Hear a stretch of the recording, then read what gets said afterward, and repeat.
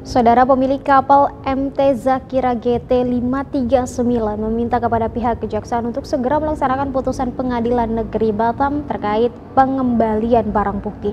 Kapal MT Zakira GT 539 menjadi barang bukti kasus kepabeanan yang dilakukan oleh nahkoda kapal pada tahun 2022 silam. Kapal ini ditangkap September ya. 26 sampai di tender dia sekitar tanggal 26 lagi. 26 dalam rangkaian sidang atas kasus pelanggaran kepabeanan Pengadilan Negeri Batam telah memutus status hukum terhadap penahanan kapal tanker MT Zakira beserta nahkodanya.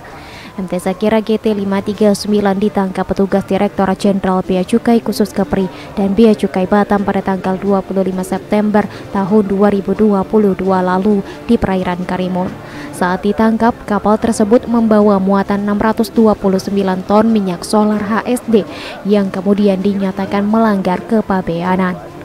Setelah dilakukan pemeriksaan dan melewati serangkaian persidangan, pada 11 April 2023 lalu Majelis Hakim memerintahkan agar MT Zakira 539 yang menjadi barang bukti segera dikembalikan kepada pemiliknya. Atas dasar tersebut, pemilik kapal meminta agar kapal yang menjadi barang bukti segera dikembalikan.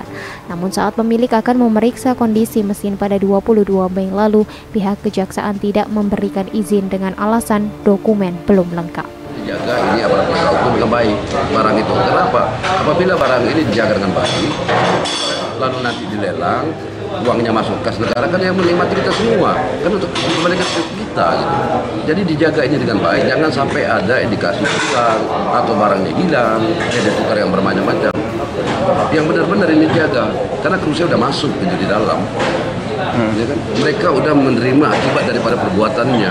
Udah bertanggung jawab dengan perbuatannya. Jagalah barang negara ini dengan baik. Barang negara itu berupa berapa banyak 629 ton 600 berapa awalnya? Ya saat ini? Saat ini saya nggak tahu. Saya tahu. Jadi abang bisa memastikan barang itu berkurang dari mana kalau saya tidak bisa memastikan barang itu kurang cuman ya indikasi berkurang mungkin ada bisa saja ya kan? Karena abang lihat dari mana itu bisa berkurang uh, dari mananya? kurang indikasi ya, ya indikasi, indikasi berkurang. berkurang ya mungkin dari draft kapal ya kan? dari draft kan kapal. indikasi pak. Hmm. ya, dari draft kapal saya tadi kalau hanya begitu saya hanya berpesan jaga barang negara yang udah jadi dapat dengan baik. Dengan baik itu artinya jangan sampai ini nanti barang itu dan 629 ton ya berkurang jadi 500 ton 400 ton atau nanti kena alam kayak gitu cepat ini di ditindaklanjuti gitu atau cepat dilelang ya. Pemilik kapal menambahkan sesuai putusan persidangan muatan 629 ton solar high speed diesel akan dilelang untuk negara. Ia berharap muatan dijaga dengan baik, tidak berkurang ataupun hilang. Sejauh ini belum ada keterangan lebih lanjut dari Kejaksaan Negeri Batam. Fedino melaporkan dari Batam.